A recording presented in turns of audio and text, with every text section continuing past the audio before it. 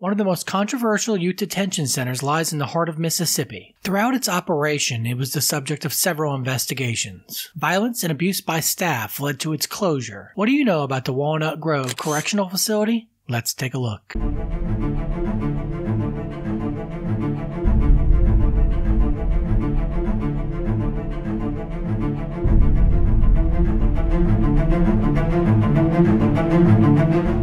Located in central Mississippi, where the heat and humidity of summer makes you feel like you are melting, the prison opened in 2001 and was part of a series of four different prisons that opened under private companies. During this time, many towns in Mississippi were trying to attract the prisons in order to bring economic growth to their struggling town. The facility would open with 321 inmates, but by 2009 it would house over a thousand. With expansions, the prison would have a total capacity of over 1,200 making it the largest youth facility in the country. Walnut Grove was first operated by Geo Group. In 2012, the contract was terminated. A new 10 year contract was then signed with Management and Training Corporation. In 2006, the facility age was higher, moving to 21.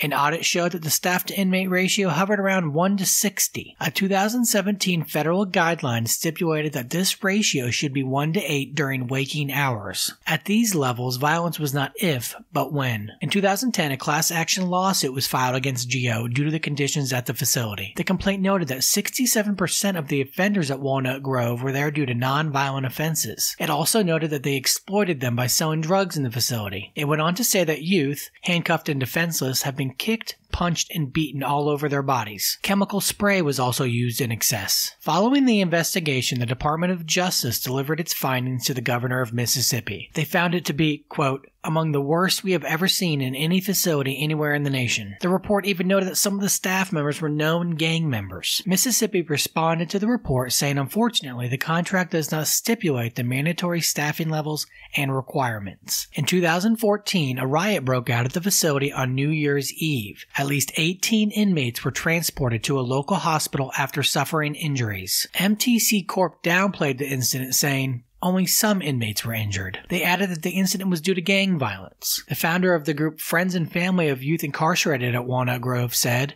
It's a lot of stabbings going on. You know, we had inmates that have lost an eye. My son, in particular, has brain damage. The end of the facility was here. In June 2016, the state announced that the facility would be closing due to budget reasons. The mayor of Walnut Grove said the move would cripple the town. The state still owed over $153 million on the bond, which ends in 2028. The state had borrowed over $90 million in 2010 for an expansion. The FBI had opened an investigation into the facility called Operation Mississippi Hustle. They would uncover corruption and kickbacks involving state officials and a consultant. The consultant consultant, Robert Simmons, was convicted in the scandal and sentenced to over seven years in prison. He was responsible for bribing the government officials. The mayor of Walnut Grove, William Sims, pled guilty and received a seven month sentence. The biggest conviction and sentence was Chris Epps, the corrections commissioner. He received an estimated $1.47 million in bribes for awarding state contracts. He was sentenced to eight and a half years in prison. Walnut Grove was quite possibly one of the most corrupt prisons to have ever existed. Offenders there suffered abuse at the hands of staff while leaders were receiving cold hard cash. Ironically, some of the people responsible for the abuse were locked away for years. If you enjoyed this content, like and subscribe. Also, click the playlist here for more prison profiles.